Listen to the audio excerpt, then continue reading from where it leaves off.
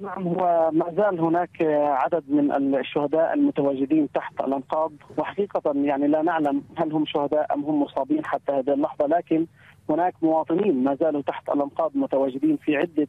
مناطق في قطاع غزة وخصوصا في المنطقة التي استهدفت هذه الليلة. طبعا كانت هناك حقيقة مجزرة حقيقية في منطقة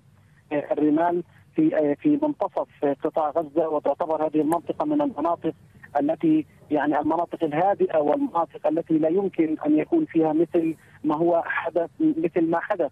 فيها من تصعيد بشكل كبير جدا حيث تتحدث تقريبا عن مساحة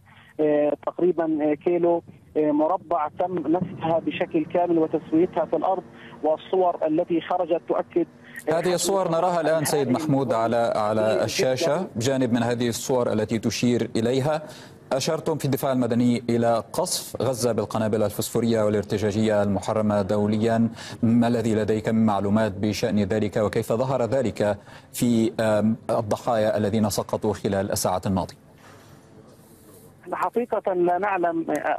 يعني تفاصيل هذه القنابل التي تطلق من قبل الاحتلال الإسرائيلي لكن شاهدنا القنابل الفسفورية التي أطلقت على القطاع.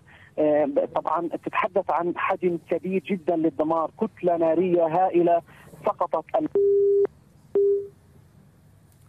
قدنا الاتصال بمحمود بصل المتحدث باسم الدفاع المدني وهو يؤكد هذه المشاهد التي نراها والاستهداف بالقنابل الفسفورية للفلسطينيين في قطاع غزة خلال هذا القصف والغارات المستمرة من الجو والبوارج البحرية منذ السبت الماضي. للمزيد من معرفة والاطلاع على